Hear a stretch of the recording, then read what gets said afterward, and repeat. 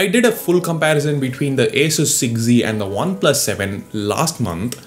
Number one, I had used the phone for like 5 days. Number two, I came across a few bugs in the software.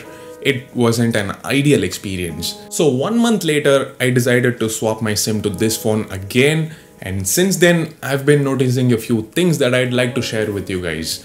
Before we begin though, let me introduce myself. My name is Ashwin Sundar. This is Technology Jock. In case you find this video helpful, subscribe to the channel and hit the bell icon.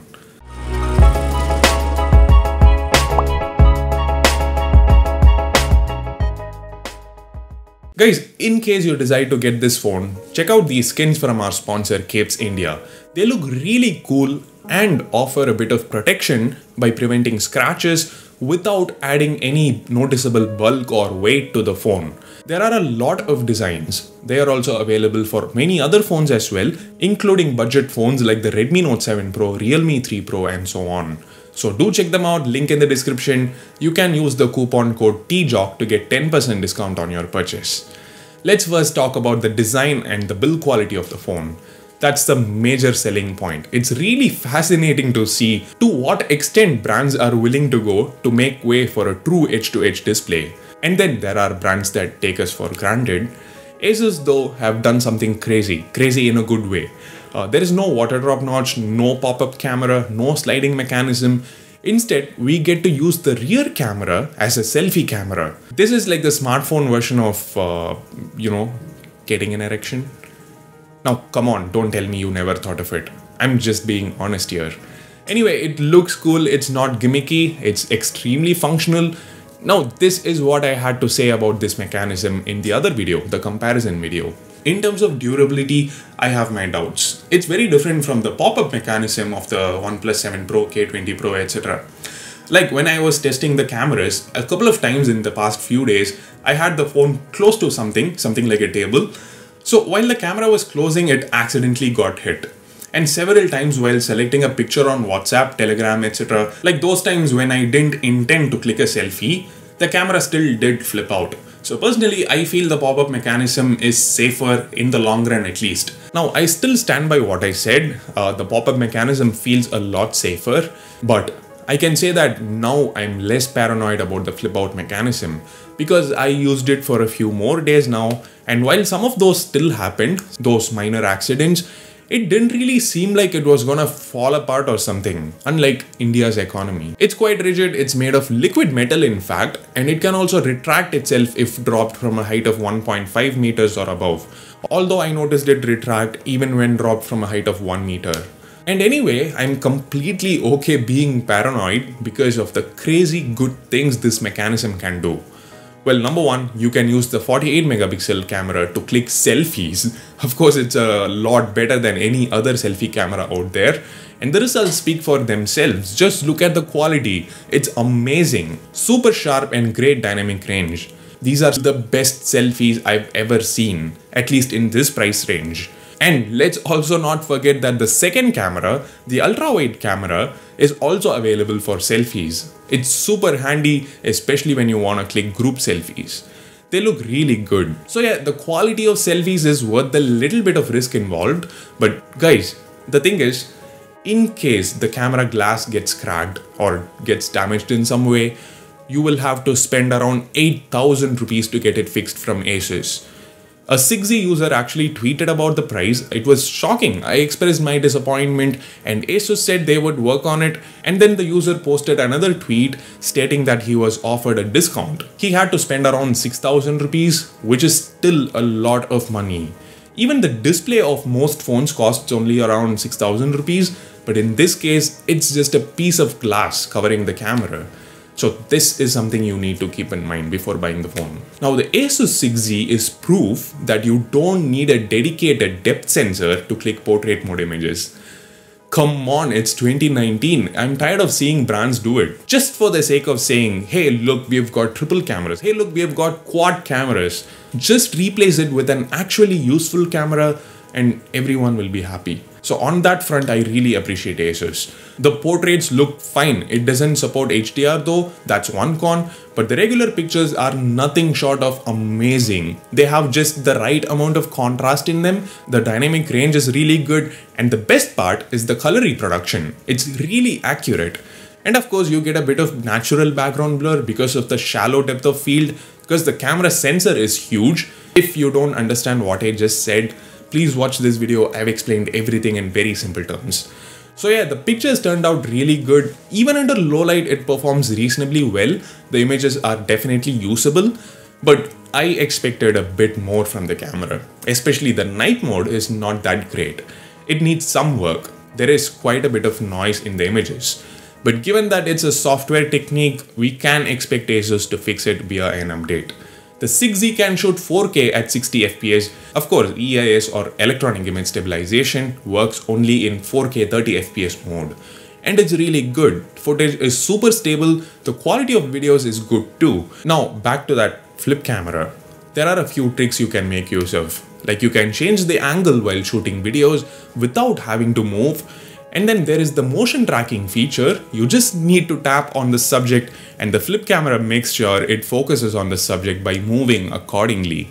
And then it also helps capture panorama shots without any device movement. Overall, I'm really impressed with the cameras, especially selfies and those few tricks that we just talked about no other phone can do those things. But if you want to know how this phone compared to other phones in this segment, here is a full detailed camera comparison between the 6Z, the OnePlus 7 and the K20 Pro.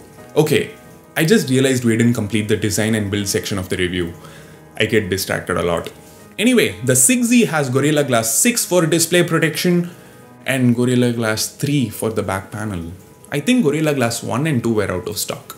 I don't know. Anyway, liquid metal for the camera unit is definitely reassuring and the back panel also houses the fingerprint scanner, the traditional one. It's not cutting edge technology like in-display scanners, but it works really well. It's both reliable and fast.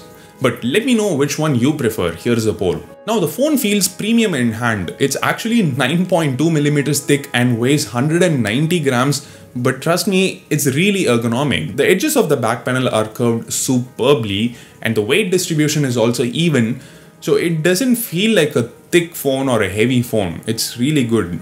Asus have done a great job here. The button placements are also fine, they are quite sturdy too. And yes, the button at the top is what Asus calls the smart key. There are three different actions it can perform, and the best thing is they are customizable. These are my customizations. So basically you get the functionality of uh, something like OnePlus's alert slider plus the ability to set two more actions to the button. Small things like this make the user experience a lot better in my opinion. It's not just the smart key, Asus have also provided notification LED, FM radio and a dedicated micro SD card slot, all of which are really hard to find on similarly priced phones these days. And other basic stuff like dual band Wi-Fi, carrier aggregation, GPS all worked perfectly fine, no issues there. Oh and let's not forget the headphone jack. It supports high-res audio. Now to feel the difference you need dedicated high-res earphones and Asus provides them as well in the box. They sound really good. Now remember the music files that you play must be in FLAC format, not MP3. MP3 audio is not high-res. It's not that detailed. That said, even MP3 music sounds really good. Speaking of music, let's also talk about the stereo speaker setup. It gets really loud, but at full volume you hear crackling sounds. The quality is not the best. The same crackling behavior can be found in the earpiece as well. It becomes fine when you turn down the volume by 2 or 3 points, but in a noisy environment outdoors, you are forced to set it to full volume. Things actually got a little better after the recent updates, but I still wish it offered even better audio. Uh, it's not a deal breaker. If you like everything else about the phone, you can still buy it. Okay, it's high time we talk about the display. Any phone that's priced around or over 30,000 rupees should have an AMOLED display. That's something everybody expects invariably. Now, Asus haven't done that. They've gone for an IPS LCD panel, but it's a really good LCD panel. Of course, it doesn't have those super deep blacks unlike an AMOLED display, but it covers 100% of the DCI-P3 color gamut which means the color reproduction is great. The resolution is Full HD Plus and it has support for HDR as well. Now here's a comparison between the OnePlus 7 and the Asus 6Z's displays. You can see that both are almost equally good. The panel also gets really bright, it was convenient enough for outdoor usage. From movies to games, this display handles everything really well. Speaking of games, the 6Z excels at that as well. PUBG gameplay is smooth and responsive, and it's not surprising given that it's the Snapdragon 855 chip that's powering the phone, along with 6 or 8 GB RAM. So even at the maximum graphics settings, which is HDR plus extreme FPS, the gameplay is quite good. There is no noticeable lag or frame drops, during long usage sessions, I'm talking 1 hour, 2 hours, you might notice some minor lag, but it's normal and there are no heating issues. Asus have done a lot on the software side of things as well. You have this thing called Game Genie, which offers a bunch of useful settings to enhance your gaming experience. You can even live stream to YouTube or Twitch. Now, while a lot of people say this skin is close to stock Android, I feel it's actually even closer to Oxygen OS. It kind of follows the same formula a near stock Android experience plus some necessary useful features. Like there is a screen recorder with a lot of options, a lot of gestures, and shortcuts to launch apps without turning on the display, and more. Now, remember in the beginning, I said I found a few bugs uh, when I used the phone a month back. I wasn't able to take a screenshot. In many instances, few apps just crashed it was a little annoying, but after the recent update, I didn't face any of those issues. So, not just for gaming, even for day to day tasks like checking emails, browsing the web, checking out Twitter and Instagram feeds, watching videos on YouTube, Netflix, etc., the 6Z delivers. Now, this good performance is backed up by a huge 5000 mAh battery that's much higher capacity than what any other phone in this segment offers. Battery life hasn't improved or deteriorated after the recent update. On medium to heavy usage, the 6Z got me through one whole day with 40 to 50% charge left. You can get through one more day with that remaining 40% if you use battery savers and avoid gaming. Uh, note that I had two SIM cards, Wi-Fi and Bluetooth turned on all the time, so that was the kind of usage. The 6Z supports 18 watts fast charging, which is definitely not the best in the market, especially since the phone has a huge battery, it takes quite some time to charge the phone. It takes over 2 hours. Now, the verdict. At 32,000 rupees, you get a really good camera package, great main camera and ultra wide camera, both on the front and the back, a great innovative design, amazing battery life, and those minor stuff like the notification LED, micro SD slot, high-res audio, high-res earphones in the box, etc. This is undoubtedly a great phone for the price. If you want to know how it compares to the OnePlus 7, here's a full comparison video. Another awesome phone in this segment would be the Redmi K20 Pro at just 28,000 rupees.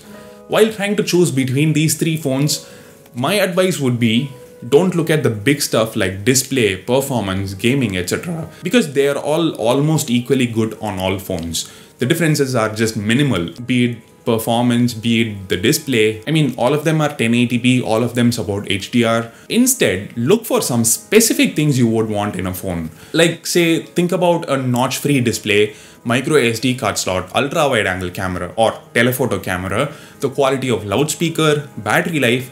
You get the idea, right? Think about these before deciding which one to buy. If you still have any question, please post it in the comment section. I'll get back to you. I would really appreciate it if you subscribe to Technology Jock and press the bell icon. Thanks for watching. For the moment, this is Ashwin Sundar saying goodbye.